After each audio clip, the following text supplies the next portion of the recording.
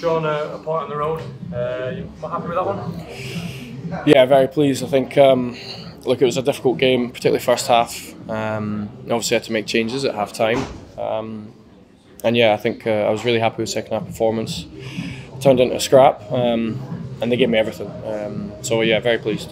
Talk about the changes. You made three changes at the break, and they all made a difference, didn't they? They did, yeah. Um, yeah, the boys that came on, uh, we had to be more aggressive. I think, look, I was very, very unhappy with the goal that we conceded. Uh, even how we defended the box, it's something we're trying to improve. Um, and yeah, substitutes had a big impact. Um, Tom Naylor as well in, uh, in the last moments of the game, throwing his body at a shot. Um, we're needing everyone at the moment, um, and they give me everything. Is that satisfying for you as a manager to see, obviously, the whole squad contributing? It is, yeah. Look, I think yeah, look, you always have difficult uh, decisions to make. We've had to leave boys at home. We have to make, well, I decided to make changes at half time. But um, yeah, all, all, I'm looking for is everyone to give 100%. They did, um, and at times they could play as well. So um, I think we can get even better on the ball. But the main thing tonight was, um, yeah, at half time we had to show something, uh, show personality, and uh, we definitely did that. You said you weren't happy with the first half performance, but in terms of Ben Amos, he wasn't really tested, you know, other than the goal itself. Um, were we perhaps unlucky, obviously? Uh, Chris at the bar as well. So yeah, Chris at the bar. So the, they they hit it a couple of times second half. No, not un, we weren't unlucky. I think um, I was really unhappy with the goal. We switched off from a set play.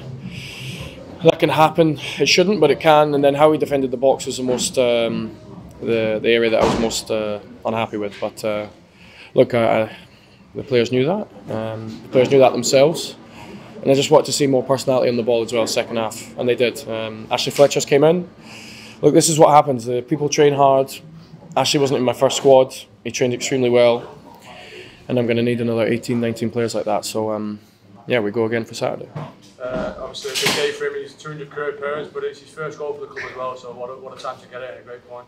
Yeah, look, he's uh, when he's as aggressive uh, and he shows everything he can, he's going to be a threat. Um, and I need that every game for him. So, uh, he can be happy with tonight, but also he needs to know um, we need him that every single game fans were great, and obviously, hopefully, turn out again for a big game back at the DW on, on Saturday against Norwich. Yeah, look, they were great again. I like. I know it's uh, Wednesday night, long travel, extremely long travel. They'll get home late, so um, yeah, they're with us, and um, we'll need them, and um, and hopefully they can see that we're giving them everything.